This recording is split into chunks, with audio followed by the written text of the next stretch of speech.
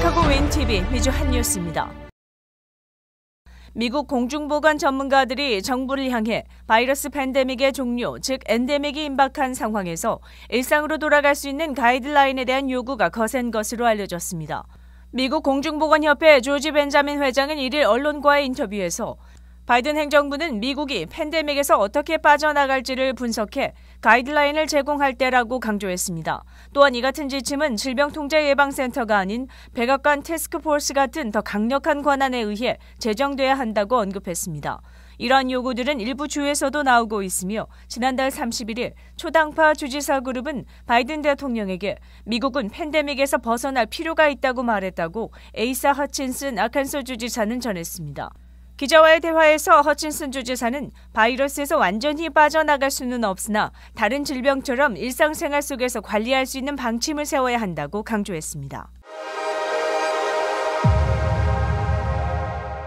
세계 최대 인터넷 tech 기업인 구글의 모기업 알파벳이 1일 20대 1로 주식 분할을 추진한다고 밝혔습니다. 주식 분할은 자본금 증가 없이 발행 주식 수를 늘리는 것으로 이날 종가를 적용할 경우 1주당 2,750달러가 넘는 알파벳의 주식은 138달러 정도가 되는 것으로 알려졌습니다. 최근 알파벳사의 주식 분할은 2014년에 있었으며 곧 있을 주주 승인을 거쳐 7월부터 적용됩니다. 7월 1일 거래 기준 알파벳 주주들은 낮아진 가격이 주식 19주를 추가로 받게 됩니다. 루스 포렛 최고 재무 책임자는 더 많은 사람이 알파벳 주식에 접근할 수 있도록 하기 위해 이사회에서 주식 분할을 의결했다고 전했습니다. 언론에 의하면 알파벳이 다우존스 30 산업평균지수 편입을 염두에 두고 주식 분할을 발표했을 수 있다고 분석했습니다. 다우존스 지수는 30개 우량 기업을 선정해 산출하는 주가 지수입니다. 다만 시가총액이 아닌 주가 평균 방식으로 지수를 산출하기 때문에 네 자릿수의 주가 기업은 지수를 왜곡할 수 있다는 이유로 편입되지 못했습니다. 구글의 4분기 매출은 전년 동기 대비 32% 늘었으며 대부분 인터넷 광고 매출로 인한 것으로 알려졌습니다. 노동부가 2일 발표한 데이터에 따르면 지난 12월 해고율이 사상 최저 수준으로 떨어졌다고 알렸습니다. 오미크론 변이로 인한 기록적인 코로나 감염률의 급증으로 1월 경제가 둔화됐지만 12월의 노동력 이직률에는 제한적인 영향을 미쳤습니다. 노동부의 일자리 창출 및 노동 이직률 조사 절차에 따르면 고용주는 12월에 1,090만 개의 일자리를 개시했는데 이는 11월에 1,080만 개에서 증가한 수치입니다. 해고된 미국 직원의 비율은 0.8%로 사상 최저 수준으로 떨어졌습니다. 하지만 자발적으로 이직한 미국 직원의 비율도 2.9%로 최고 기록에 머물러 있습니다. 노동시장 전문가들은 자발적인 퇴직률을 미국인들이 더 나은 보상이나 경력 기회로 새로운 직업을 얻을 수 있는 확신을 측정하는 척도로 사용합니다. 인디드 고용연구소의 연구이사인 닉 벙커는 2일 분석에서 오미크론 변종에 야기된 최신 유행병의 물결이 12월 노동시장을 강타하지는 못한 것을 시사한다고 분석했습니다.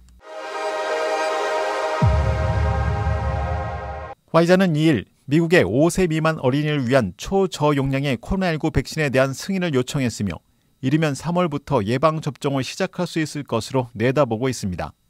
현재 전국의 1,900만 5세 미만의 어린이는 아직 코로나19 예방접종의 대상이 아닌 유일한 집단입니다.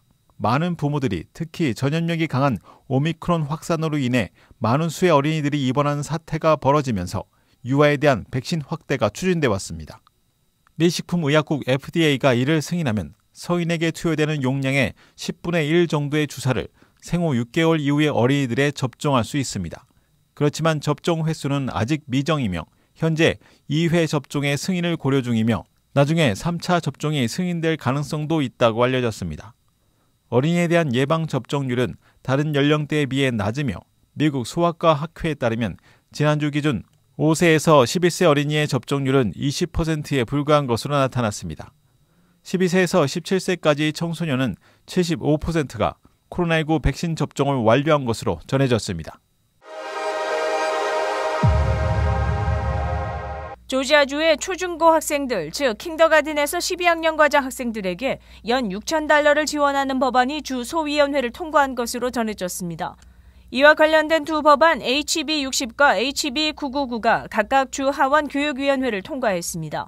이 법안들의 주요 내용은 공립학교 재학생이 사립학교로 전학할 경우 연 6천 달러의 학자금을 지원하며 공립학교에 있을 경우 사교육비로 사용할 수 있도록 제공하는 것입니다. 홈스쿨링을 하는 경우에도 관련 교육 비용으로 해당 자금을 사용할 수 있습니다.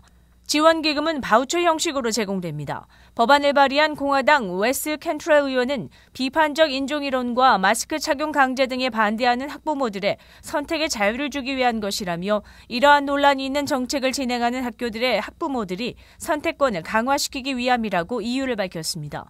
반대론자들은 바우처가 자금이 부족한 공립학교의 자금이 계획되지 않은 것으로 전용되고 특히 저소득층이 공립학교에 다니면서 사교육 바우처를 활용할 가능성이 낮아 불평등을 가중시킬 것이라고 경고했습니다.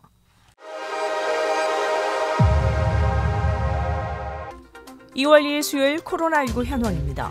미 전 지역 신규 확진 26만 4,693명, 신규 사망자 수는 2,781명이며 백신 완전 접종률은 64.1%를 나타냈습니다.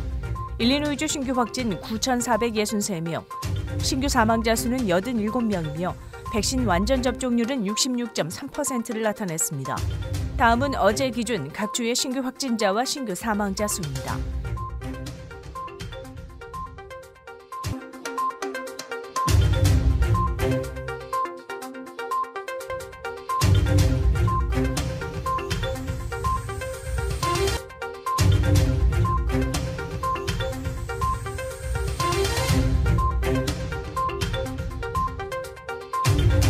다음은 각 주의 백신 완전 접종 비율 상황입니다.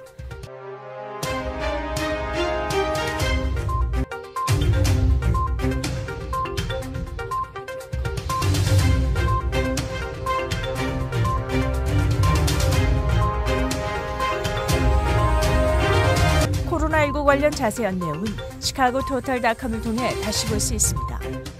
윈TV 채널 24.5와 MCTV 채널 24.6 방송은 안테나를 이용한 공중파 방송을 통해 시청할 수 있습니다. 코로나19 비상시국 뉴스24에서는 여러분의 제보를 기다립니다. 제보 전화 847-290-8282번입니다.